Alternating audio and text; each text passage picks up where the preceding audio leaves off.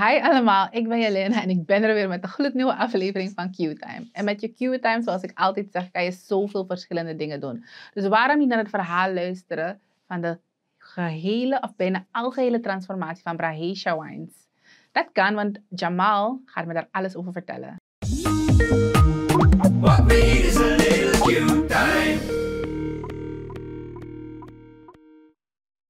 Hi Jamal. Hey Jelena. Hoe gaat het? Lukt wel met jou? Uh, ja.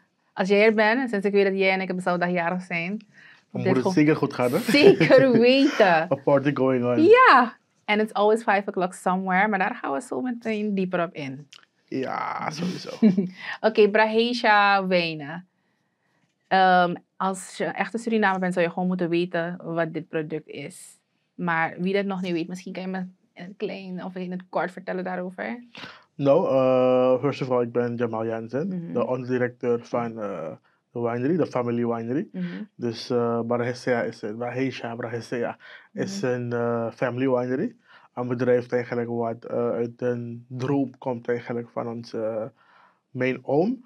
Um, dat is Romeo Dash, die eigenlijk uh, op heel traditionele wijze van zijn grootvader eigenlijk een, een, een, een een pracht eigenlijk, een stukje cultuur heeft overgenomen. En dat is het maken van wijnen. Um, hij, heeft dat, hij heeft dat overgenomen als hobby. En wij jongeren, zijn zoon, um, ik, zijn neefje en zijn nichtje, neefjes, allemaal jongeren. Um, wij hebben dit eigenlijk overgenomen en op de markt gebracht, geperfectioneerd en uh, iets moois van gemaakt. Mm, Oké, okay, dus dat zijn dus de Brahesha wijnen die nu op yes. de markt zijn. En ik ken het al een aantal jaren. En wat zo bijzonder is, het is niet de uh, normale smaak wijn die je normaal nee. hoort. Want je hebt de druiven, de droge, de witte, et. Maar jullie hebben gewoon een heel ander portfolio. Ja, Suriname is, uh, we, we, moesten Suriname een beetje wakker schudden en een beetje iets nieuws geven aan Suriname. Uh, Suriname is gewend aan inderdaad die druiven van het buitenland en dergelijke. Maar wij zeiden van nee, we komen met iets anders. Mm. We zijn er inderdaad al een paar jaren. Uh, ik vind het eigenlijk ook een eer om eigenlijk full circle terug te komen. Twee jaar terug heb ik met Odette eigenlijk uh, in ons prullenbegin mm. een gesprek gehad hierover. En toen waren we nog met onze oude flessen eigenlijk in onze testfase. Mm. En de smaken die we dan uh, hadden en nog steeds hebben, maar nu alleen die zijn die smaken verbeterd eigenlijk. Dus nog veel lekkerder eigenlijk zijn de Boulanger, oftewel mm. aubergine, uh, de kersenwijn en de pomerakwijnen. Oké, okay, ja. Ik ken de Boulanger al. Die was, toen vond ik hem al goed, right? Ja. Maar we gaan even terug, want ik zei aan het begin, jullie zijn een transformatie ondergaan. Zo, so, nu weet ik al dat we, of dat we, want ik voel me nu plotseling ook verbonden bij het bedrijf. maar dat jullie dus uh, aan de smaak hebben gewerkt en jullie hebben gezegd, oké, okay, we gaan dit uh, perfectioneren. Maar wat is er nog meer gebeurd? Um, dus deze fase waar waar we nu zijn, komt eigenlijk door... Uh, eigenlijk uh, ons thema van uh, deze fase is eigenlijk à la Ogrichambong. Mm -hmm. uh, dat komt omdat we eigenlijk in de eerste fase, twee jaar terug, zijn we gestart met de wijnen. Maar we hebben eigenlijk wijnen gehad. Of gestart met de, de wijnen? Dus het volledig produceren voor op de markt brengen? Het, het, het, het, maken van de wijnen is sinds 2005. Zie je, dus daarom, ik ken het al heel lang. Dus, ja, dus, 2005 dus... zijn we, zijn, is, mijn oom eigenlijk mm -hmm. al bezig geweest met het maken van de wijnen. Mm -hmm. Thuisgebruik gewoon.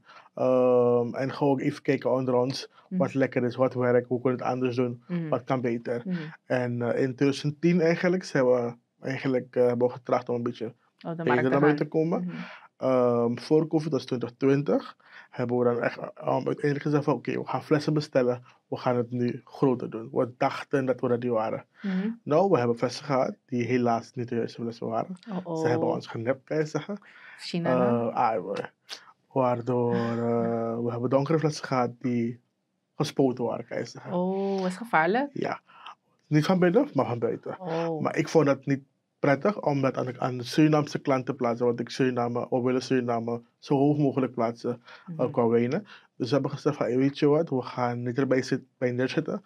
We gaan het toch op de markt brengen, maar we gaan het zo persoonlijk mogelijk op de markt brengen. Dus als ik het, die, die, dus die periode was een periode waarbij ik het verkocht aan je en ik zei van, hé, hey, let erop, het gaat even weg, dat, dat, dat, maar geef me je feedback. Mm -hmm. Wat vind je ervan? Dus was de hele periode van uh, eigenlijk marktonderzoek, mm -hmm. in contact blijven met de mensen. En eigenlijk uh, door die uh, uh, eigenlijk, hebben we informatie kunnen krijgen, feedback kunnen krijgen van onze klanten, uh, waar allemaal kunnen werken, hoe we het product beter kunnen maken. En we hebben dus daaraan gewerkt, waardoor we eigenlijk in die fase waarbij we die overlessen weg moesten doen, een beter product kunnen maken. Dus als rebrand, we willen we zeggen van oké, okay, we komen nu op de markt, dus we willen anders beter en professioneler uitkomen. Oké, okay, en het is je aardig geluk, want ik kijk nu naar een uh, gloednieuwe fles. Yes. Logo, alles, lettertype. Het is helemaal... Uh... Helemaal up-to-date. Ja. Zo, so, hoe voel je er zelf bij als je nu hier zit en kijkt gewoon naar het nieuwe product? Uh, behoorlijk trots. Mm -hmm. Deze label is eigenlijk al jaren oh, ready geweest. Mm -hmm. En nakijken uiteindelijk op de juiste flessen mm -hmm. in, de, in, de, diverse handen van de verschillende mensen die eigenlijk ook uh, een trots gevoel bij hebben als ze het ook houden, mm -hmm. is het uh, is voor mij een hele voldoening. En we zijn er nog niet waar we, waar we moeten zijn, maar dit geeft sowieso aan dat we heel goed op weg zijn. Ja, zo. een mooi verhaal, een mooie journey, alle Ogri Chawangboom. Want ja, hier staat nu een pracht van een product uh, smaken van, vooralsnog zouden we zeggen, iedere Surinamer weet wel wat de boulanger of aubergine of, of de, het is de mondje mondje kersies. De kersen, ja, de Surinaamse kersen. Exactly. Yes. So, en, en Surinaams product dat gewoon op uh, een internationaal wijnrek zou kunnen staan. Ja, precies. Dus dat is de bedoeling eigenlijk mm -hmm. ook. Uh, om, uh, um, hij staat in verschillende wijnfabrieken en slijterijen. Waar? Um, de Wine Shop bijvoorbeeld, aan de Dramrandersgracht, 89. Bij DJ Liquor Store aan de Prins Hendrikstraat. En uh, Triple C Slijterij aan de Jozef, Jozef Israëlstraat.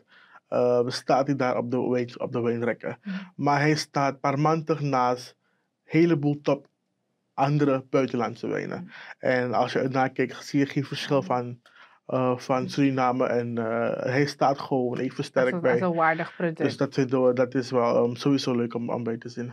Nee, nice hoor. En jullie hebben dus deze drie smaken. Er zijn nog meer smaken?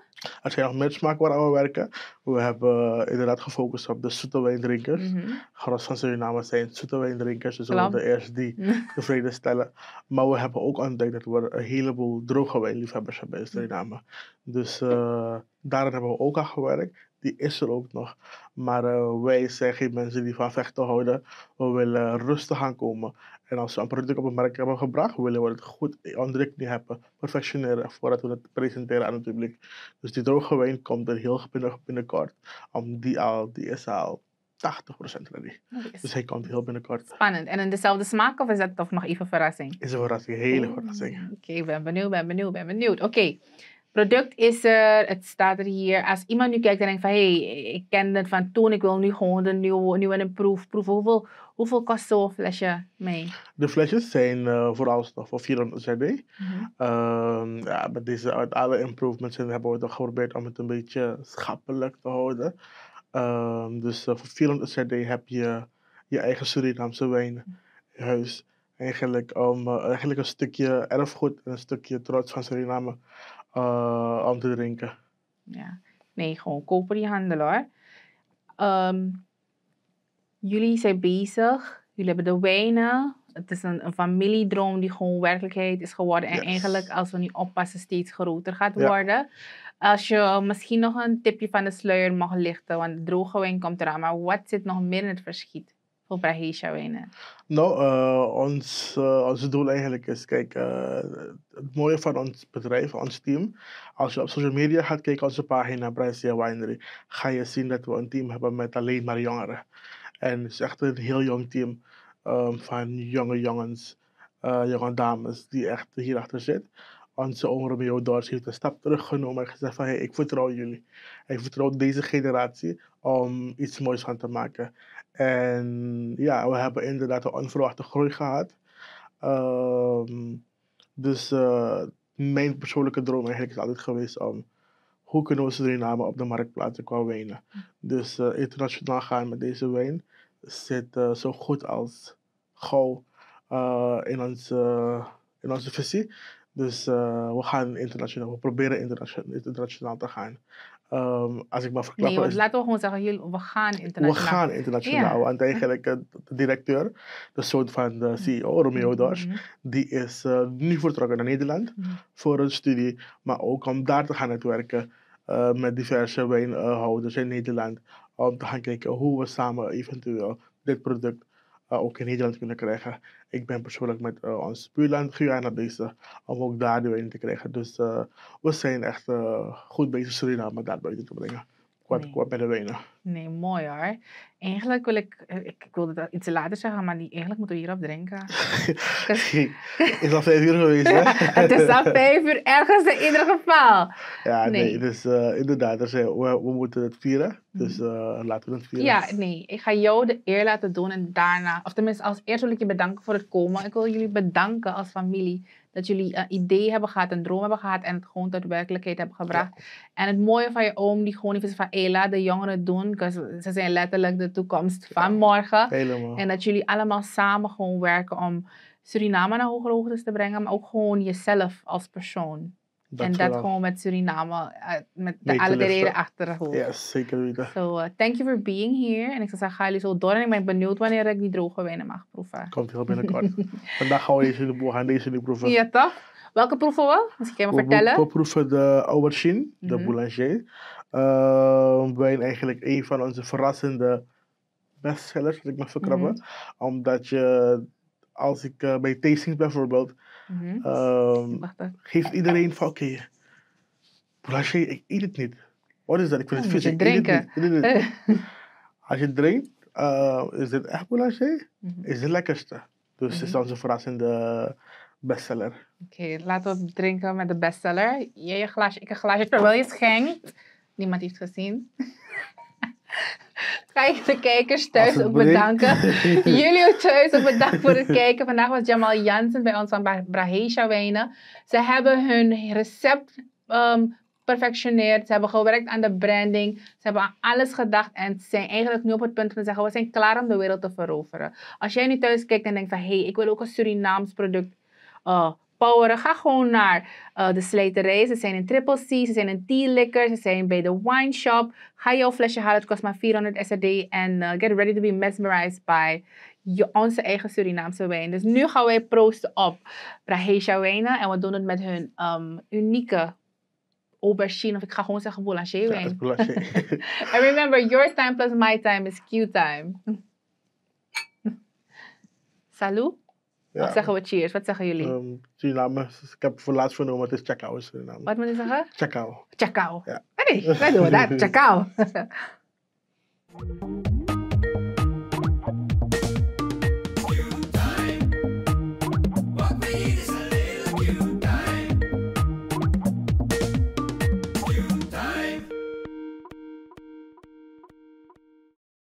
This is another Supreme production. Supreme TV.